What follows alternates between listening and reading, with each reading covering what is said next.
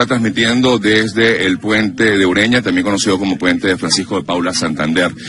Justamente aquí no vio ningún tipo de confrontación. Esta mañana estuvo presente el eh, presidente de Colombia, Iván Duque, haciendo una revisión de los daños registrados en este lugar.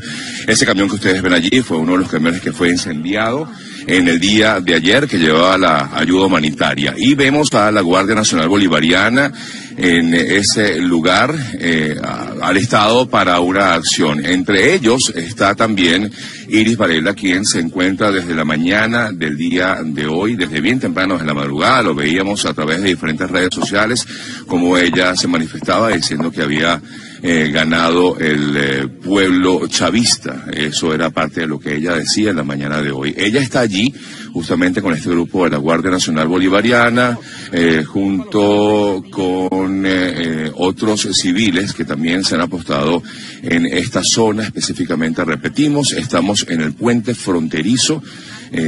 Francisco de Paula Santander y del otro lado está la ciudad de Ureña en el estado Táchira. Em, desconocemos eh, por qué razón ellos han eh, pues eh, hecho esta acción. Mientras tanto, de este lado, del lado colombiano donde nos encontramos, están aquí presentes la fuerza de policial de Colombia, la Policía Nacional de Colombia, también pues pendiente de cualquier situación que pueda sucederse, que pueda originarse.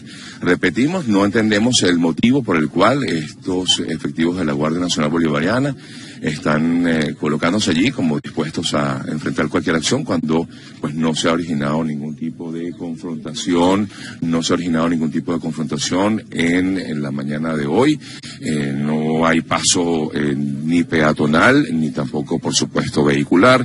En,